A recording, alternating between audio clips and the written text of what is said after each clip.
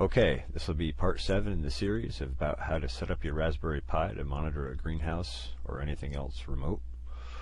Uh, this video would be about how to create a database for your new Raspberry Pi as well as enable remote login for MySQL so you can access it from anywhere for easy remote management. Along the way, you'll learn how to log into MySQL via command line and run your first MySQL statement, as well as how to log in with MySQL query browser so you can make database changes easily when installing or adding sensors to your Raspberry Pi. Um, so once we get through this, you'll understand how to log into MySQL query browser. I think in part 8 I will go into using the query browser to edit the database. That said, let's get started. First, you'll need to log in to your Raspberry Pi through SSH, or alternatively, go to the desktop and go Start, uh, and then I think it's Programs or Accessories, something like that, Terminal. Uh, we looked at how to do that in previous videos, so if you're not familiar with how to do that, please go back and watch one of those videos. Um, so, let's get started. So, first command is sudo su to get to the root root user root permissions, and then we're going to want it's we're going to want to edit the etc mysql my.cnf file. Uh, you can do that one of two ways. You can just type nano etc mysql my.cnf and edit it or you can uh, change directories to it uh, we won't go into that. We covered how to change directories and that sort of stuff in the previous video here. So, uh, we need to edit this file. We need to change one setting in this file. If you page all the way, uh, hold on, if you page down, you'll find a setting called bind IP address and we're going to put a hashtag in front of it to comment it out so that it isn't uh,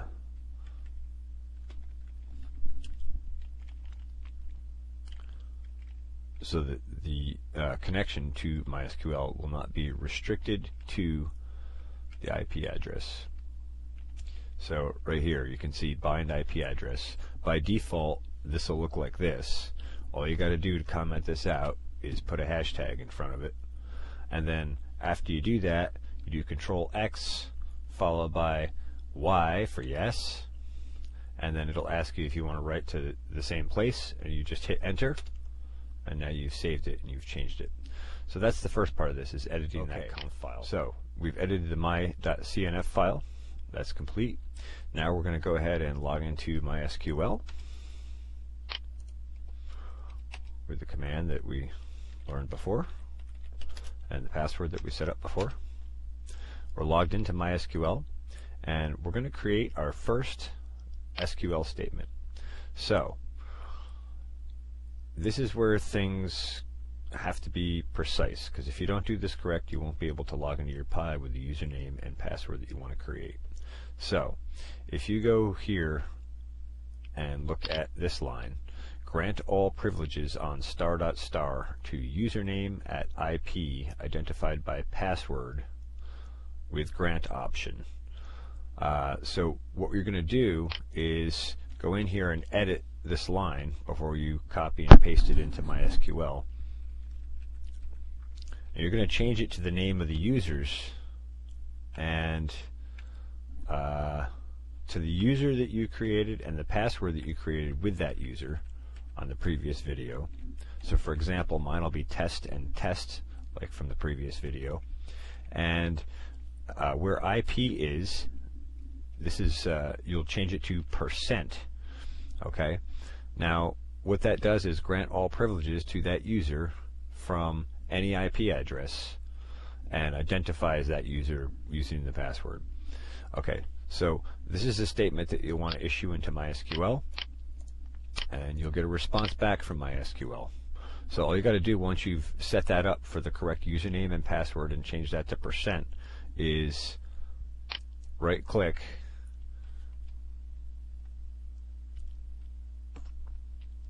um, right click to paste it in and hit enter and you'll see query OK, zero rows affected, and that's fine.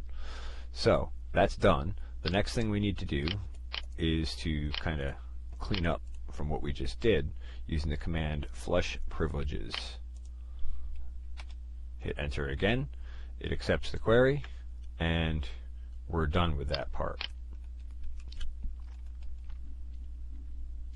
Okay, so we're going to jump out now using quit or exit. And we're going to restart MySQL.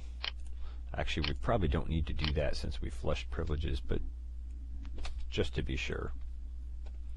And also so that you learn how to restart MySQL without rebooting the whole machine. Uh, most services on a Linux-based system can be restarted without restarting the actual machine. Um, so a little different from Windows in that regard. Okay, so you get an OK back restarting MySQL. That worked. All right, good. Uh, so now we're going to go back into MySQL. Again, using MySQL u root p. Ask you for your password. Enter your password. Okay, we're in. We're going to create a database now. So, where it says database name, pick the database that you want to create. Um, so, in my case, I'm going to create a database called Greenhouse. All right. So replace the database with one the name you want to call it. Uh, I will warn you, this stuff is case sensitive. So if you call it capital G R E E N H O S E, that would be different than the lowercase g greenhouse. Just so you understand. So we're going to create a database. Oh, my bad drop the brackets. There you go. Now we've created the database and we're going to do a command called show data bases semicolon and you'll see now that we have the greenhouse database there. Uh, another thing I could do is drop database which is basically delete greenhouse semicolon and then if I go back and do show databases now, you'll see that greenhouse is now gone. And of course I can go back and do create database greenhouse again. And we'll show databases again. And you can see it's back. So just to understand, that's how you create a database. Now, the database will be the place where we'll house information, uh, be that data we're collecting, uh, or control of data fields, or uh, numerous other things. You can do date time, you can do so many things, it's ridiculous. So I won't go uh, deep into that at the moment. So now we have our database set up. We can exit again, and we're out of MySQL. Um, if you have not downloaded this yet, you'll want to go ahead and download and install MySQL Query Browser. This is a very handy tool for uh, navigating and editing a database. So first I'll just show you that uh, I, am logged in uh, from before without the database greenhouse that we just created in command line. Uh, what I'll do is close this back out and start it back up and I'll show you how to set it up. So you want MySQL query browser and then you'll want to create your connection. So for example, I called it trainer uh, we're using the username test. You can save the password in here. Um, I personally don't recommend it because then anybody who gets to your computer can log into your database and mess with it. And uh, databases are very complex, and so you don't really want somebody who doesn't know what they're doing playing with it. Uh, anyway, uh, so I don't leave the password there. And then where it says host name, uh, you put the IP address of the Raspberry Pi that you want to log into, just as we discovered with Angry IP Scanner in the initial videos. Uh, you leave it default at port 3306. We have not changed that. You can change that if you like. And if you're planning to work on your Pi remotely, you'll want to go into your uh, cable or DSL or whatever your internet service provider router is and port forward this port out to another port and you'll log in remotely from outside your router. That's a whole other topic. Just wanted to make that point. So this is your new connection and you hit apply uh, to save it. Obviously I haven't made any changes.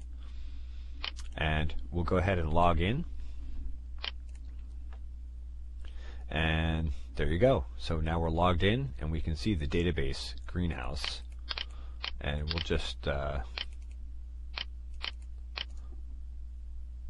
we'll just uh, make it the default schema quick and uh, we'll see see there's no tables in here at all so the next session that we'll do here um, after this video it'll be part 8 is we'll learn how to create a new table um, so we'll get to that next time uh, but this is just a taste of how you would get into it uh, anyway I hope this video has been informative and helpful uh, if you've had any run into any errors or issues or had any problems, by all means, please comment down below. Uh, if you have questions, I will be glad to answer them. Um, I think that covers it all. Uh, let me just check my list here. Yeah. All right. So, thanks for watching the Farmacy Seeds Network. I hope you'll join us next time. And uh, we'll look forward to uh, messing around with SQL Query Browser, learning how to change and edit databases and add data. Thanks for watching the Farmacy Seeds Network.